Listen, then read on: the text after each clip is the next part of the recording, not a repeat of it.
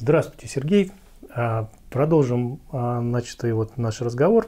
В прошлый раз мы говорили, а, закончили наш разговор о том, что сота дает возможность просто друг другу доверяя, как бы экономить на безопасности.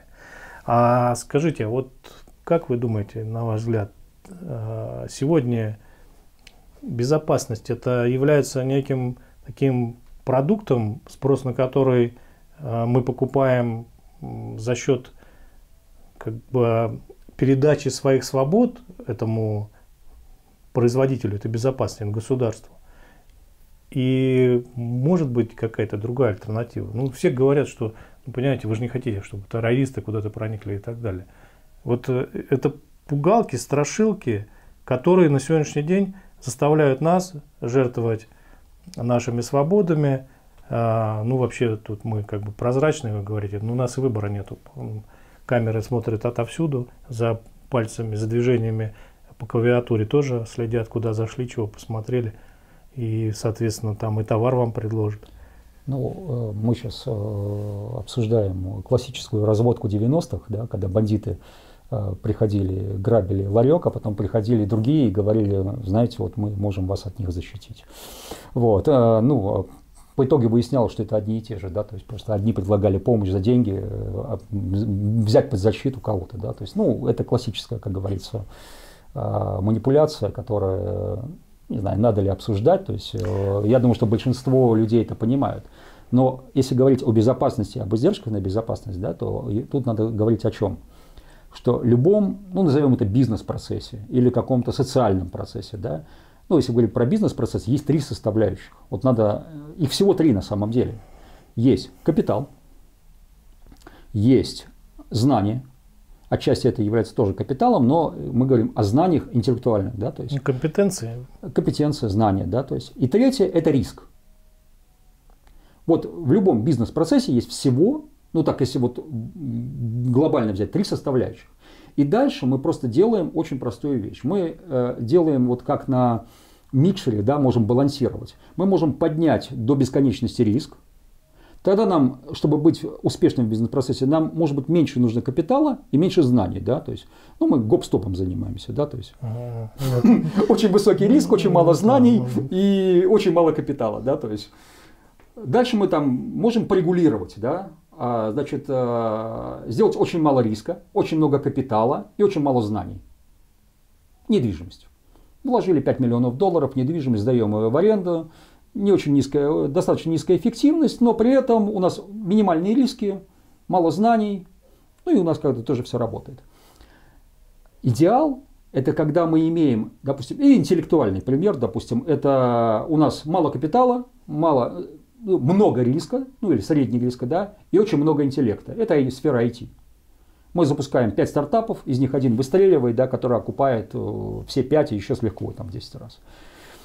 То есть, если мы а, в рамках, опять же, вот этой коммуникации, или соты назовем ее так, да, а, убираем полностью почти до нуля риск, безопасность внутренней коммуникации, мы не тратим сюда, мы уже начинаем быть очень успешными относительно тех, кто туда на это тратит очень много усилий. Хороший пример, просто а, есть история социалистской мафии.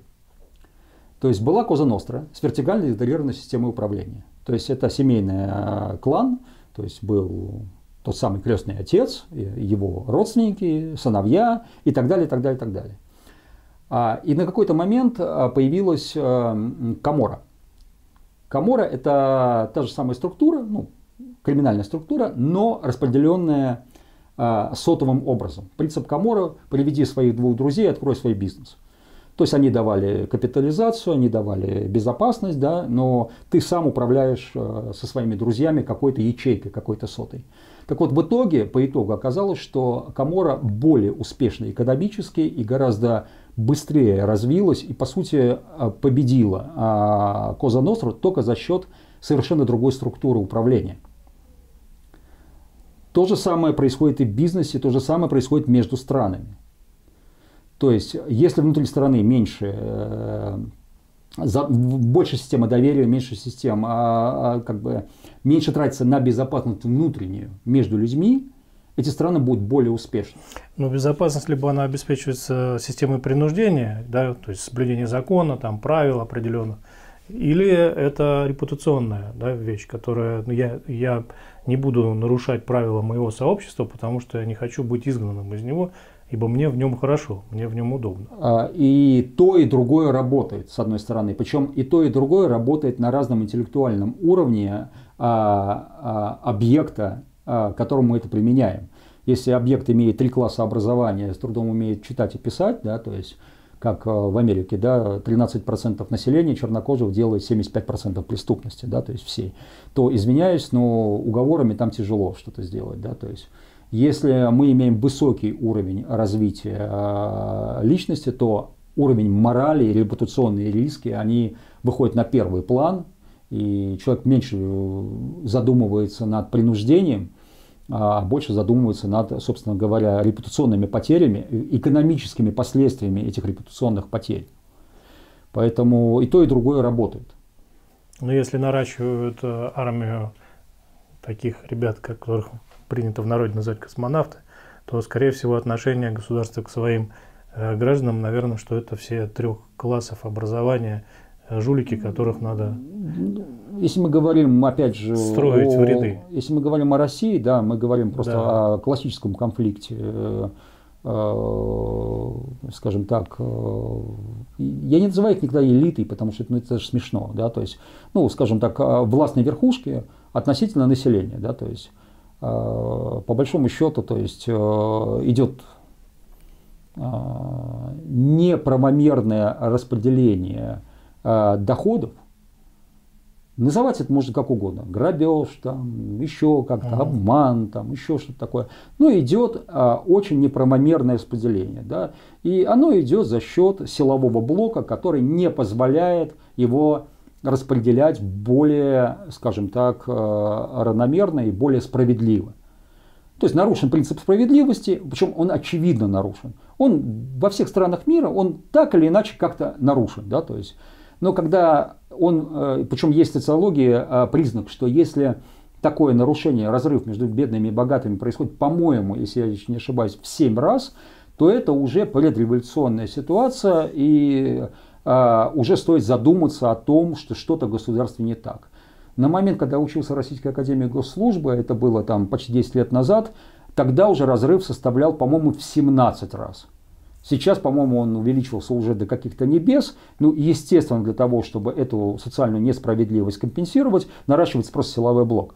Ну, это путь в никуда, то есть, э, очевидно, понятно, чем он закончится, но, к сожалению, э, другого пути уже назад нет. Никто уже не сделает шаг назад, не остановится, не перестанет. Ну, к сожалению, то есть мы свернули не туда, там, наверное, в 2011-2012 году, э, после там памятных рокировок, там, да, условно, когда власть, по сути, была уже несменяемой стала. То есть, ну, и мы идем в эту точку.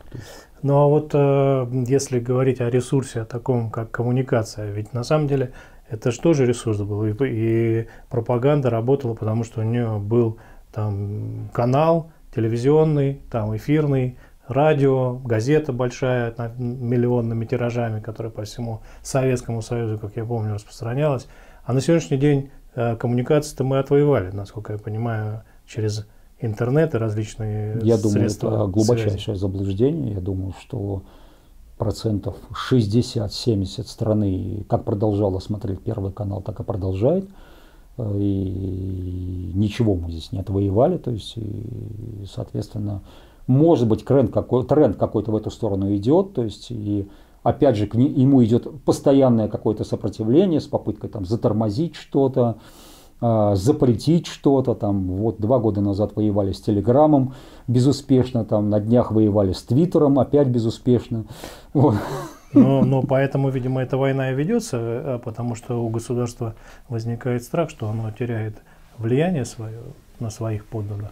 Ну, я вкратце объяснил, собственно говоря, мы сделали неправильный выбор в какой-то момент, и дальше эта дорога в одну сторону. То есть, ну, дальше операционные какие-то действия, ну, оперативные действия, тактические, как это говорил Клаузис, да, то есть э, стратегические просчеты не компенсируются никакими тактическими успехами. Все, то есть, ну это тактические какие-то успехи, да, там, вот, промыть мозги, устроить какой-то скандал, кого-то в чем-то обвинить, там, да, там, поливать кого-то из ведра, извиняюсь, дерьмом, там, да, как я вот слышал, там происходит на первых каналах, там, да, ну, в прямом смысле слова, да, это не фигурально, да, то есть, а, ну, это тактика, да, то есть это тактика, ну, это, как говорится, ну, давайте наращивать дальше уже там Росгвардию, которая уже больше там, а, чем регулярная армия. Давайте набирать по объявлениям хедхантеры снайперов, да, причем с формулировкой а, без опыта, а, без особых навыков. Я не понимаю, что такое снайпер без особых навыков, я занимаюсь стрельбой. То есть... А что, такие объявления? Да, да, да, это прям буквально вчера эти объявления вытащили и на дожде об этом рассказывали, и э, вчера фотографии были в том же Фейсбуке. Прям вот. А, Сергей, ну вот интересно опять, э, если говорить об этой сотовой модели устройства, которая как бы вот с ваших слов она опять вот возвращается, только а, реинкарнируется там по-новому. Она не ведет ли вот к такой, а, ну пусть даже небольшой Э, атомизации сообществ и, и, и сепарации вообще как бы как таковой, которая может разрушить сегодняшнюю страну или государство какое-либо. Как бы вызовом оно не является в этой связи? Или это, там сказать, чисто построено на коллаборации, взаимодействии, в том числе и между СОТ? Ну, во-первых, соты не могут не взаимодействовать, потому что они находятся в непосредственном контакте между собой. То есть мы прекрасно можем там, быть в мире там, финансов и банковского бизнеса, но хочешь не хочешь, нам нужны такси или нужны повара. Да? То есть мы где-то все равно с ними, когда мы с какими-то лавочниками контактируем, что-то у них покупаем. А, они у нас кредиты берут, там, допустим, да, то есть как бы и делают какой-то свой бизнес, потом нам продают там, какие-то булки. Там. Коммуникация все равно есть, это единое тело. Просто я говорю о том, что на сегодняшний день, да, то есть вот это тело становится а, другим по содержанию. И да, это уже начинает выходить за рамки классических государств. Да, это выходит за рамки классических, ну, международные корпорации на сегодняшний день практически не подчиняются уже никаким государственным законам. То есть э, корпорация Apple может открыть э, завод щелчком пальцев. Хотим сегодня в Индии, завтра в Китае – послезавтра в Бразилии. И их, в общем-то, по большому счету не так сильно беспокоит, что по этому поводу скажет то или иное, назовем это государство. Ну, потому что государство, скорее всего, согласится, чтобы они открыли там завод. То есть это больше их желание, чем уже даже, потому что их э, капитализация силы настолько стала большая, что они могут уже на это влиять. Я еще раз говорю, что мир претерпевает э, колоссальной трансформации каким он будет. То есть мы очень редко задумываемся, что человек стал непосредственно контактировать с устройством электронным в 2008 году. Это когда Стив Джобс сделал iPhone. Да? То есть это первое, когда не потребовался ни стилус, ни мышка, а непосредственно это пальцы, тачпад – и человек стал непосредственно контактировать с электронным устройством. Теперь это электронное устройство у всех. То есть не, мы не представляем даже жизнь без этого. Да? То, есть, то есть мы на сегодня находимся в едином целом по всему миру. Мы сейчас можем взять телефон, интернет достаточно дешев, средства коммуникации стали настолько доступны, что язык стал, становится больше и больше универсальным. У нас почти все, если нисколько не говорят, но уже, по крайней мере, читают на английском языке. То есть мы не можем найти там ни одной страной мира, куда бы я ни приехал, там, от Египта, там, я не знаю, до ну, какую-то страну еще взять, там, не знаю, там, Европу, там, Азию, Таиланд, да, они все говорят нам на каком-то уже универсальном языке. Мы все уже можем коммуницировать. Нам меньше и меньше нужно вот эти вот рамок законодательных, экономических, финансовых, валютных. То есть мы все потихонечку становимся, э, и мне проще коммуницировать с группой людей по интересам, э, сидя в Москве, я могу коммуницировать э, со Штатами, с Европой, еще с кем-то. То есть у нас есть как группа товарищей, 50 или 100 человек, которые увлечены, допустим, одним направлением. Или связано с одним направлением бизнеса ну зачем мне, извиняюсь, э, э, государство для того, чтобы позвонить кому-то или с кем-то поговорить или написать письмо. Но государство это как бы все-таки мы понимаем как... Государство как регулятор. Как регулятор. Мы берем идеальное государство, мы берем российское со своими изъянами, мы говорим, вот есть некий регулятор. Да. Регулятор между собственниками. Он задает некие правила игры, он задает правила игры.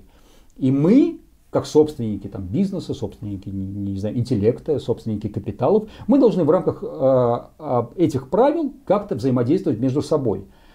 Я говорю о том, что на сегодня мы уже можем задавать некие правила внутри себя, внутри без участия абсолютно государства. Когда оно пытается э, к нам, а, скажем так, внедриться как регулятор через, допустим, валюту, мы говорим, окей, хорошо, не надо. У нас биткоин есть, мы тогда, тогда спасибо, не надо, ну, вы нам мешаете. Но государство пытается внедриться даже в сферу свободы совести, как мы видим. Но у меня вопрос такой, а что представительная власть как таковая перестает вообще быть нужной, да, вот эти депутаты, наши представители, если мы коммуницируем напрямую. А, вот мы вернемся опять к разговору изначальному, а, когда я говорил о том, что а, сотовая модель, чем она, она имеет, какой она имеет особенность. Сотовая модель живет в рамках некой идеологии, в, в рамках некого общего смысла.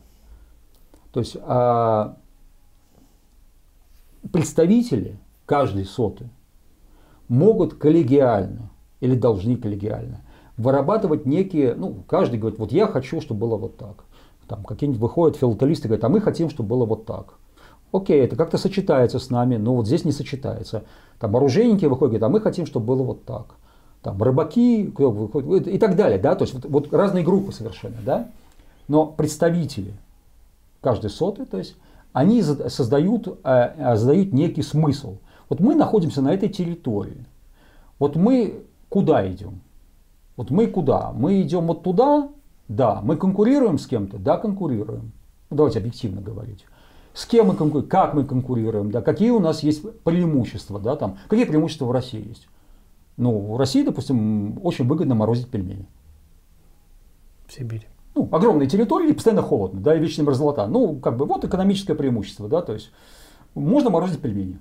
Можно хранить в вечной мерзлоте там, какие-то продукты десятилетиями для кого-то. Да? Ну, кто-то вот захоранивает э, ядерные отходы. Вот. Но, кстати говоря, это тоже, да, когда говорят об экологии, о ядерных отходах, э, ребята, у нас территория, где не ступала нога человека, да, ну, наверное, неприятно осознавать, что как бы с твоей страны делают некую там, ядерную помойку, да, но если мы говорим о локальном Э, условно говоря, захоронений в рамках там, не знаю, нескольких километров относительно там, миллиардов, там, миллионов там, квадратных километров, ну, как бы это смешно даже говорить. Да? То есть, если это, эти деньги, как говорится, опять же, эти капиталы не разворуются, инвестируются в экономику страны и даст развитие а, для остальных жителей, это нормальная экономическая программа, это нормальная сделка. Если, конечно, мы говорим о том, что давайте там захороним их как, черт знает как, они будут растекаться э, в реки, э, и в моря деньги украдем, ну, наверное, это плохая э, сделка, да, то есть для государства, как для агломерации. Вот и все, то есть это один из примеров. Хорошо, спасибо. Мы можем продолжить просто да. о чем? О чем мы поговорим там теперь, потому что я разбил примерно по 20 минут. Да я понимаю, да, да. Вот. То есть, в принципе, ну, как бы такая тема, ну, она как бы такая вот, ну, никак ее не привяжешь, блин, к, ну, в смысле не привяжешь, философская тема. Абсолютно, да. Я и думал, что это должна быть социально-философская эта история. То есть mm. мы больше даже, знаешь, а, мы можем как-то пофантазировать на тему будущего. Uh-huh. Причем я пока, вот я прямо вот сказать, что я могу спрогнозировать, во что это выльется, пока появление ли это государств без государства, не знаю даже.